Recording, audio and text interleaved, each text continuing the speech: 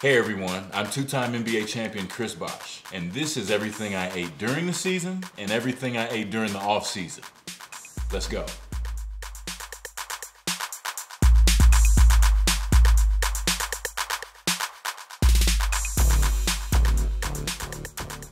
During the season, a typical day for me food-wise, in the mornings, I would always try to have oatmeal. Now, there's two reasons that I would have oatmeal.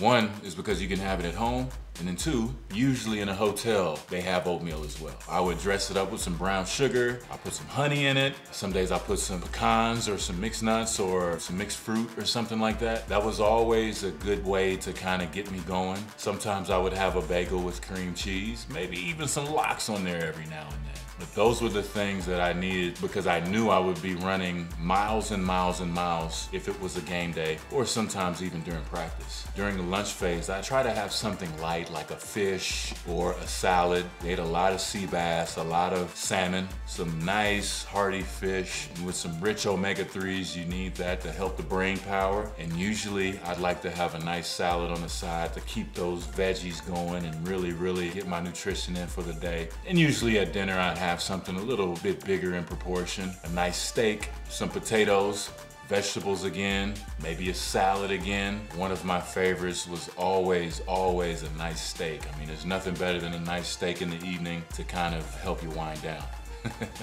so during the off season, this is when me and my wife, we would love to get adventurous. So in the off season, you could find us on a beach or traveling somewhere or walking some mountains with the kids or going on some field trips. So that's when we try to get the really, really cool worldly stuff in. You might find us in Provence, France, you know, having a nice, you know, rotisserie chicken. You might find us on the coast of Italy having some nice fish or a very, very nice pasta. But we'll always try to be more adventurous and a little bit lenient on the guilty pleasures in the off season.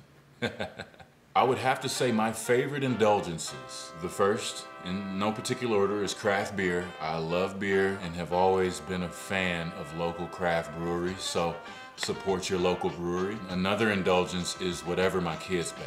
They've gotten into the routine of baking multiple dishes a week, and my daughter made a carrot cake the other week that was just amazing. Anytime they make something, I might not let them know, but I definitely take a piece off and have something for myself. My favorite win, of course, was game six in the 2013 NBA Finals. And a foul called against San Antonio. Blocked by Bosh. Game over. There'll be a game seven. We won by the hair of our chinny chin chin. But afterwards, we went to Prime 112 to put all those calories back. and it was a very dramatic win, and that was definitely the most important game. And we had the most important meal right after. Then we had to do it again. I never had any food-based superstitions during the season. My superstition was always to not be superstitious.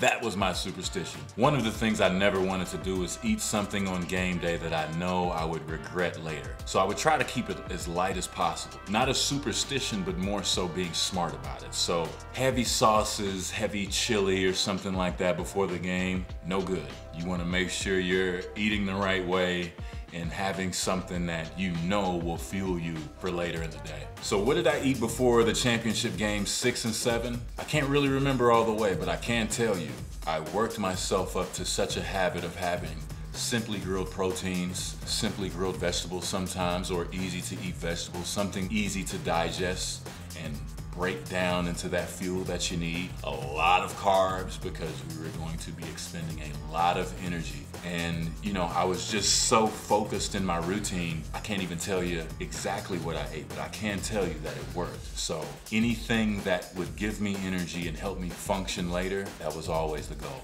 What foods do I think help me perform best? I always try to eat a little cleaner if I'm performing. So if I'm eating some sugar, I want to make sure it's natural sugars. So I try my best to maybe have some local honey in my tea or on top of my oatmeal or my granola mix in the morning. I'll always try to have something high in omega-3s, like I said before, helping that brain function and give that tissue and those joints the lubrication that it needs to move and I would always try to not do too much. Sometimes performing on a full stomach can be the wrong thing to do, and you don't want to have a wrong situation. So I always try to eat a little cleaner, have a little more veggies, be a little more aware of what I'm taking into my body. A nice dose of complex carbs like quinoa or brown rice, something that can sustain you for later and your body can really break down into energy later. The foods that slow you down, oh, that's easy big steaks, big heavy red meats, red sauces, or sometimes just eating too much.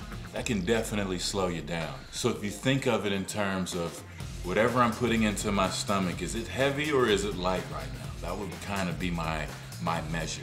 And if it was too heavy sometimes, that was the thing that I knew would hold me down a little bit. Which city had the better food, Miami or Toronto? Hey guys, come on you guys asked me to choose. Uh, it's, it's a tie. It's a tie. We all tie here. Let me tell you something. Toronto, they've got the Caribbean influence and the Indian influence and so many European influence and Asian influences there. Miami, you've got that Latin flavor, a lot of arroz con pollo, and you actually have a lot of Mediterranean dishes that you can get into down there. They all have their different flavors, and on top of that, they have phenomenal restaurants. So I have to say, I cannot choose. All I can say is, you won't be disappointed if you have a meal in either city. You know what? Honestly, my weird and unique food habit is trying weird and unique foods. And that started back when I was 19, a rookie in Toronto. I had a buddy of mine who got mad at me because I said I didn't like something before I tried it. And that was razor clams and black bean sauce. He pretty much guilt tripped me into eating it, and I ate it, and it was really good. So then every day after that moment, I told myself that I would try something at least once. And one of those weird and unique foods that I had the pleasure of trying was crocodile carpaccio. Now, I don't know where you can find it, but I've had that before. It's very good.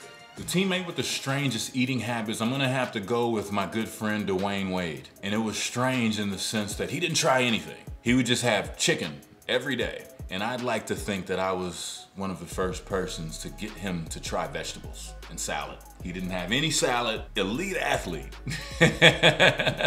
with these things. And I give it to him. They found a way to make chicken different every day. Now he's uh, he's eating a lot more. His, his palate is is a lot more broad and, and, I, and I like to think that I had something to do with it. So congrats D Wade, I'm glad you had your first salad and your first bite of vegetables. Everybody, it's not too late to try things. Well, one of the things that I found that helped me with my performance when I was playing was a little bit of juicing. On game days, I'd like to have some beet juice, just a nice beet juice. I felt that it really got me going and I came to enjoy beets. I used to hate beets as a kid. And then I found myself drinking beets and we found a certain particular recipe that was energizing for the body. So I would always drink that one before a game. And then usually on off days we're trying to recover, that's when I would drink my green juices. The ones you don't want to drink that aren't necessarily sweet. Put those vitamins and antioxidants back into the body and help aid the recovery process so I could be ready for the next game. One thing I wish I could have eaten all the time was burgers and fries. I mean, you can eat burgers so many different ways. They have them in every city. You can get clean burgers, you can get messy burgers, you can get big burgers, you can get small burgers, you can get all kinds. But that necessarily wasn't always the best thing to eat during the season. Three things you will always find in my fridge. Eggs, for sure. You can eat them for breakfast, lunch, or dinner. And that's usually one of the first things you learn how to cook. Lunch meat, so that we can make sandwiches. You know, you can be very flexible with lunch meat. And we're always gonna have those cut up veggies, some kind of vegetable or fruit in the fridge. We wanna make sure we have something healthy to grab at all times. The most I've spent on takeout and delivery, I usually don't look at the bills, but I can definitely tell you well a few hundred bucks, okay? I can't tell you how many few hundred, but definitely a few hundred. I try not to look at it. My diet has changed just a tad since I've stopped playing. I'm more so looking at things that will aid me in long-term health. Like I said before, it's very important to get omega-3s but fiber, protein, things that the body really needs to be able to function and give it that longevity. And, you know, I'm trying to encourage my kids to make healthy choices as well. So, a lot of fresh fruits, fresh vegetables, and I've come to kind of really, really appreciate cutting down the carbs just a tad.